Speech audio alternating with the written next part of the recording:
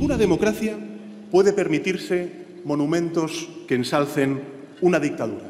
Vamos a proceder a la exhumación de los restos del dictador Franco del Valle de los Caídos.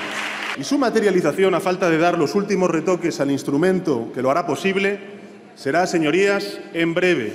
Nuestra democracia tendrá símbolos que unan a la ciudadanía, no que la separen. El nuevo Gobierno no elevará los impuestos a los ciudadanos de a pie, pero sí va a exigir un mayor esfuerzo fiscal a los grandes conglomerados empresariales. Lo que vamos a proponer a la Cámara es que el tipo efectivo de las grandes corporaciones se acerque al tipo nominal y en ningún caso sea inferior al 15%.